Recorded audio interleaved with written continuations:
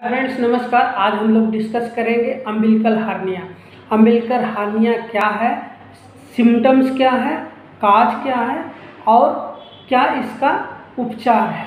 इन सबों के बारे में बात करेंगे। इससे पहले कि आगे बढ़ूं, आप लोग हमारे चैनल पे नए हैं तो हमारे चैनल को सब्सक्राइब कर लीजिए बेल आइकन को दबा लीजिए, क्योंकि हेल्थ से रिलेटेड स्वास्थ्य से रिलेटेड ऐसे ही कंटेंट मैं लाता रहता हूँ। अंबेडकर हानिया पेट में एक थैली या उभार जैसा होता है। इस प्रकार का उभार तब होता है जब हमारे आंतों का कोई हिस्सा हमारे मांसपेशियों के कमज़ोर वाले हिस्सों में, नाजुक वाले हिस्सों में इस अंदर से प्रेशर मतलब ढकेलता है तो उसे अम्बेलिकल हानिया कहते हैं। ये अम्बेलिकल मतलब जो नाभि होता है, उसके आसपास की एरिया में ही ऐसा होता है, इसलिए इसे अम्बेलिकल हार्निया कहते हैं। यह खासतौर से बच्चों में ज़्यादा देखने को मिलता है।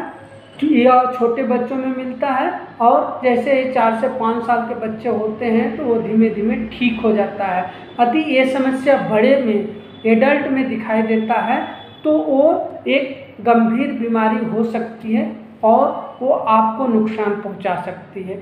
अम्बिलिकल हार्निया कारण क्या होता है?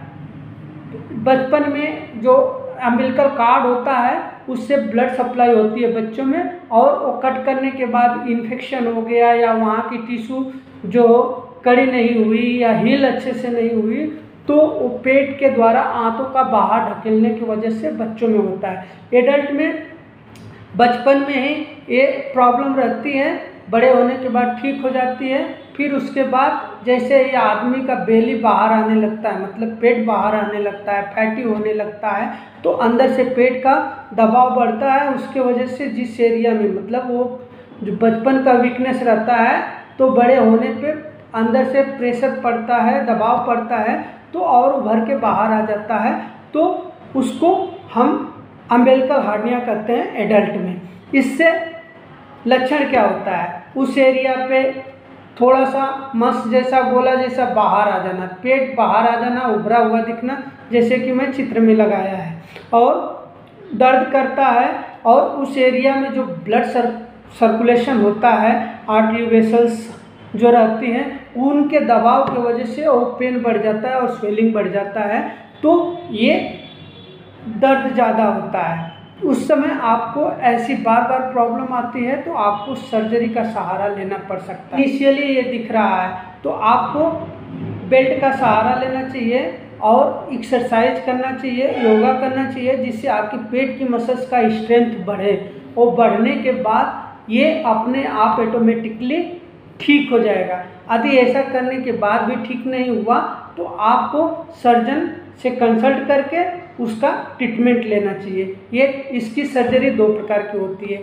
एक तो ओपन हार्नियोप्लास्टी होती है एक लेप्रोस्कोपिक हार्नियोप्लास्टी होती है। दोनों से उसको रिपेयर करते हैं। तो ऐसे आपका अम्बिलिकल हार्निया ठीक हो सकता है। दोस्तों, आशा करता हूँ कि ये कंटेंट अम्बेलिकल हार्निया वाली टॉपिक आप लोगों को समझ में आई होगी, अच्छी लगी होगी, कर लीजिए। और हमारे वीडियो को एक लाइक कर दीजिएगा शेयर करना ना भूलें, क्योंकि ये सबके काम की चीज़ है। जय हिंद, जय भारत। मिलते हैं किसी और वीडियो पे। तब तक के लिए दीजिए इजाज़त।